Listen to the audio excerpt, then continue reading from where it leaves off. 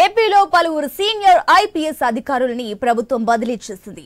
ముగ్గురు సీనియర్ ఐపీఎస్లను బదిలీ చేస్తూ ఉత్తర్వులను జారీ చేసింది. ప్రస్తుతం ఏపీఎస్పీ బెటాలియన్ అదనపు డీజీ అతుల్ సింగ్ను ఏసీబీ డీజీగా నియమించింది. విశాఖ సిపిగా ఉన్న రవిశంకర్ అయన్నార్ను సిఐడి అదనపు డీజీగా అలాగే శాంతి భద్రతల అదనపు డీజీ శంకబ్రత బాక్చిని విశాఖ సిపిగా నియమిస్తున్నట్లు ఉత్తర్వుల్లో పేర్కొంది.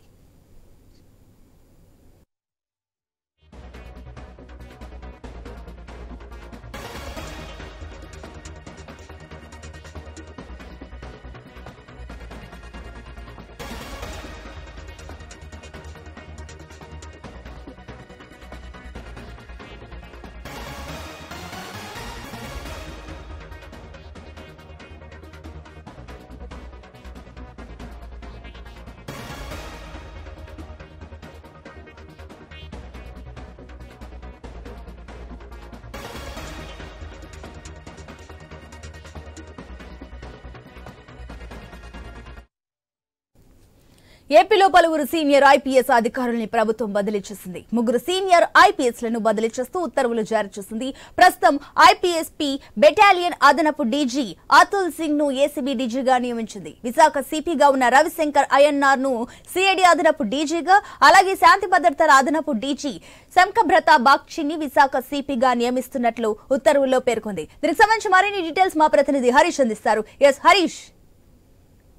ప్రస్తుతం ఏపీలో అధికారుల బదిలీలకు సంబంధించినటువంటి అంశం కొనసాగుతుంది. ఐఏఎస్ ఐపీ ఐపీఎస్కి సంబంధించి కీలక శాఖలకు సంబంధించినటువంటి అధికారులను బదిలీ కొనసాగుతుంది. తాజాగా ఐపీఎస్లకు సంబంధించినంత వరకు ముగ్గురు కీలక శాఖలకు సంబంధించినటువంటి అది ఐపీఎస్లను ట్రాన్స్ఫర్ చేస్తూ ఉత్తర్వులు జారీ అయ్యాయి. ఏసీపీ డీజీగా అతుల్ సింగ్తో పాటు విశాఖ పోలీస్ కమిషనర్గా శంకరభద్ర బాగ్చిని నియమించారు. ఆ, విశాఖ సిపి స్థానంలో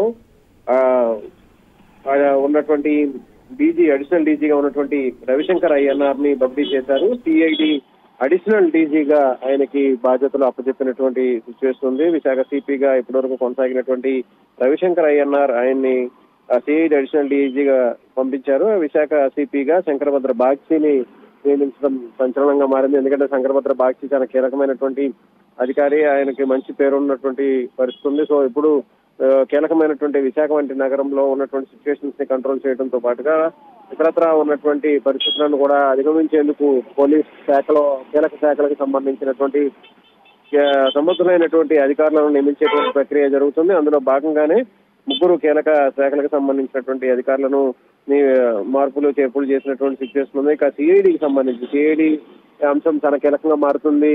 ఏపీలో సిఐడి కేసులు నమోదు చేయడం సిఐడికి సంబంధించినటువంటి కేసుల విచారణ కీలక దశలో ఉన్నటువంటి నేపథ్యంలో అడిషనల్ డీజీగా ఉన్నటువంటి రవిశంకర్ ఐఎన్ఆర్కు ఆ బాధ్యతను అప్పచెప్పారు దీంతో సిఐడికి సంబంధించినటువంటి కేసుల పురోగతి ఎలా ఉంటుందన్నది కూడా ఒక రకంగా ఆసక్తికరంగా మారినటువంటి సిచ్యువేషన్ కనిపిస్తుంది. మొత్తం మీద ఏపీలో ఐపీఎస్కి సంబంధించినటువంటి బదిలీలు ఇంతటితో ఆగేదట్టు అయితే కనిపించడం లేదు. ఇంకా కీలకమైనటువంటి విజయవాడ పోలీస్ కమిషనరేట్తో పాటుగా అమరావతి కమిషనరేట్కి సంబంధించినటువంటి ప్రతిపాదనలు కూడా వచ్చేటువంటి అవకాశం కనిపిస్తుంది. మొత్తం ఈ మొత్తం అంశాలపైన కూడా ఇప్పటికే సిఎస్తో పాటు డీజీపీతో కూడా చర్చలు జరిగినట్టుగా సమాచారం అందుతుంది. త్వరలోనే మరికొంతమంది కీలక శాఖలకు సంబంధించినటువంటి అధికారులు మార్పులు చేర్పులు బదిలీలు ఉండేటువంటి అవకాశం అయితే మనకు కనిపిస్తోంది. Sunitha.